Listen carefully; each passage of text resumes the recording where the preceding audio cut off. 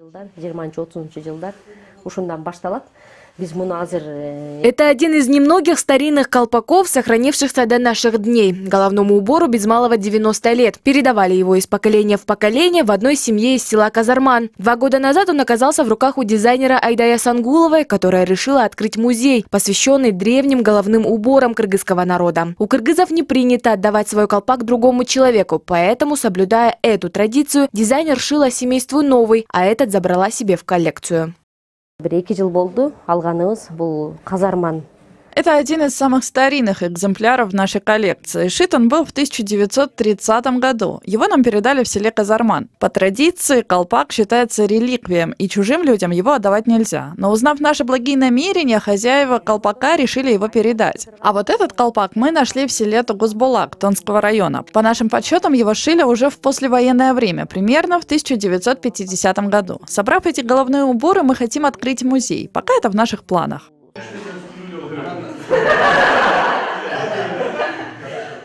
Из поколения в поколение передают национальный головной убор и в семье Умирбека Толюгона. Для молодого человека колпак – это повседневный атрибут. Его он носит и на работу, и дома. Говорит, что не любит расставаться со своим головным убором и в будущем передаст свой колпак сыну. Еще в детстве мой отец рассказывал мне, что колпак сопровождает мужчину кыргыза всю жизнь и может переходить от отца к сыну. Считается, что обладатель семейного колпака будет жить очень долго. Чем больше колпаков в доме, тем больше в нем воинов, тем больше такой дом уважают. Я хочу донести этот сакральный смысл и своим студентам, которым преподаю. В столичном вузе, где Мирбек Толюгон работает преподавателем, студенты уже давно называют его учителем в колпаке. Наш учитель своим примером мотивирует многих мальчиков тоже носить наш национальный головной убор. Между собой все студенты называют его учитель в колпаке. Для нас он пример для подражания.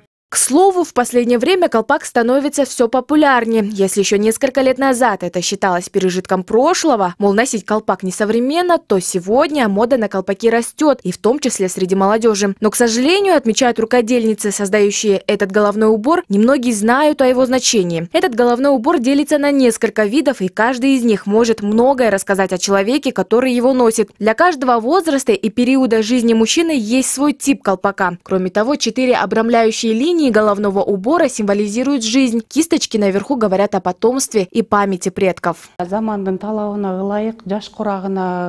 Очень хочется, чтобы молодежь помнила традиции своего народа. А колпак – это символ мужчины. Как говорят наши бабушки, если потеряешь колпак, значит потеряешь и голову. В древности колпаки играли очень важную роль не только в одежде, но и в жизни кыргызов. По его форме, отделке и рисунку узнавали возраст и социальный статус его обладателя. У простых людей и колпаки были простые простые. Узнать они имели более высокую тулью с богатыми узорами. В последние три года спрос на национальный головной убор очень вырос. Однако рынок заполнили синтетические подделки колпаков, рассказывают мастера. К примеру, в этом магазине в день продают около 20 колпаков. Цены на головные уборы разные. К примеру, вот этот вот колпак, сделанный из натурального волока, стоит полторы тысячи сомов.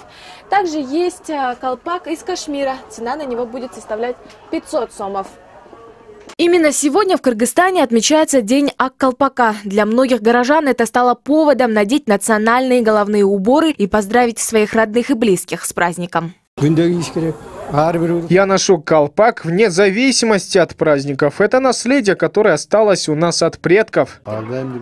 Колпак – это наша история, которую мы должны чтить. Мы всей семьей решили отметить этот праздник. День белого колпака начали отмечать с 2011 года. К сожалению, празднование торжества в этом году отменили из-за угрозы распространения коронавируса. Но политики не переминули воспользоваться поводом для того, чтобы продемонстрировать свой патриотизм. В Джугурку Кенеше сегодня все депутаты были в национальных головных уборах. Некоторые из чиновников и вовсе запустили в социальных сетях флешмоб, где начали публиковать фотографии себя в колпаке.